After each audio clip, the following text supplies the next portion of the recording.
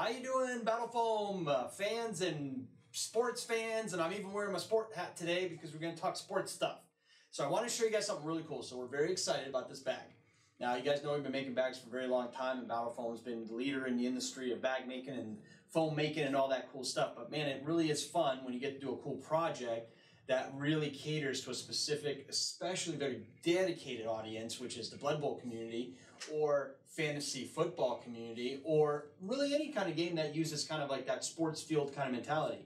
Guild Ball is a great example. Also, there's a, they're, they're a great kind of sporty slash battle game that also works great with this fantasy football bag. But I want to show you guys how it works with the Blood Bowl game. Now, again, as always, this isn't official by Games Workshop, and we have no affiliation with them, and none of these videos are approved. So take with a grain of salt that these models that we're using to show these are our models, and we're doing it to show you guys how easily they fit. But really, any model can work in this bag. This is a very universal bag, even though it says fantasy football bag on it. So first thing I want to point out to it. So the bag, what I like most about it is you got this cool canvas material, which is neat because it gives you kind of a bag of kind of a sporty look to it, if you can imagine, like a field, like a football field kind of look. Uh, we like also the very cool canvasy, rugged looking kind of tie straps that this whole thing's put together. So you can use this as a satchel. You can use this as a, uh, obviously, a, just a kind of a suitcase carry to it. Now, one thing that you'll notice about this bag is it doesn't have the hard outer shell all the way around. What it has is it has a nice padded shell with an inner core that's hard. What that means is it still protects the actual gear that's inside there, but it just keeps the weight down a little lower. So we wanted, since everybody's gonna be carrying their boards around with them, it's gonna get a little heavy, a little cumbersome, and we don't want you guys to have to haul a bunch of plastic that's inside the bag and the boards and the minis because that just gets kind of weird. So let's get to it. First thing you're gonna notice is you have a nice pocket right up front here that you can put a smart device, you can put your wallet up to your car keys, your phone. In this case, we used our actual, um, your, your stat book, more or less. Uh, I threw some dice in here just to show you that there's obviously an easy way to store dice right in the front so you can get to it real nice and quick. That's pretty straightforward, nothing too exciting about that.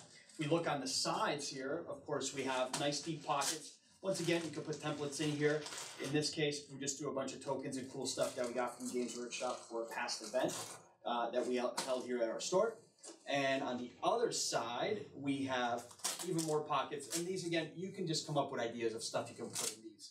They're just fun little pockets. It's a nice, easy way to put storage in here. Again, you can throw your car keys in there if you'd like, or something small. Uh, on the back of it, this is where it starts getting really fun. I'm not even going to show you the models yet. We're going to get to that in a second. But what's really neat about the back of this, so I'm going to try to do this without dropping everything out of it. So you got the zippers that go all the way around.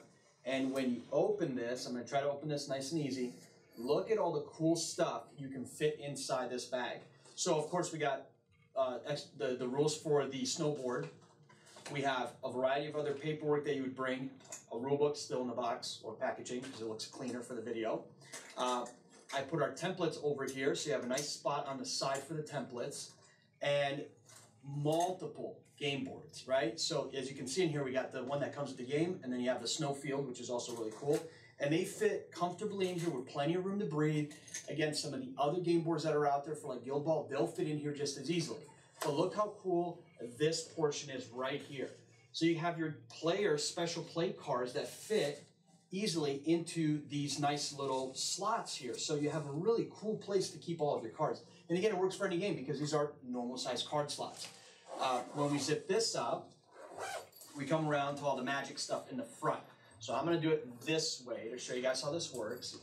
If you open this up, let's open that. Open this bad boy. And on top here, you have another protective pouch that you can open up and you can drop extra books in there, you can drop army lists, you can do whatever. Now this foam layout kit comes with four trays. So you're gonna have something that's kind of ideal for taller, thinner models. Humans are gonna be great as they release elves and similar armies. Those will be also very good. You have, I'm gonna start putting these down so they all fall.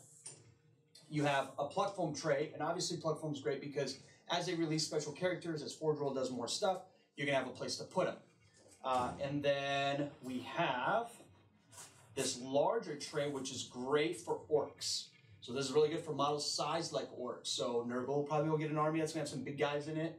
Um, that's great for orc style models, nice and roomy. And you also see a special character down at the bottom that was recently released that also fits nice and easy. Now, lastly, You have a bit of a smaller tray. This is great for Skaven, for dwarves, or similar type of minis. So these four trays, they're all different in their own way, but also give you a lot of options with what you have. Now what's neat about this, see how you have two compartments here, so you guys can see that, you have two compartments.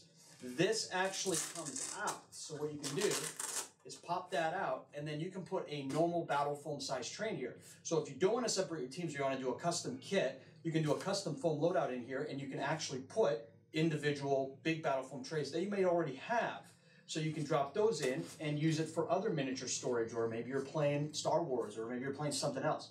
You drop those all inside and they're ready to go. So the bag's really, really easy to use, to work with, has a ton of storage. The price on it's awesome.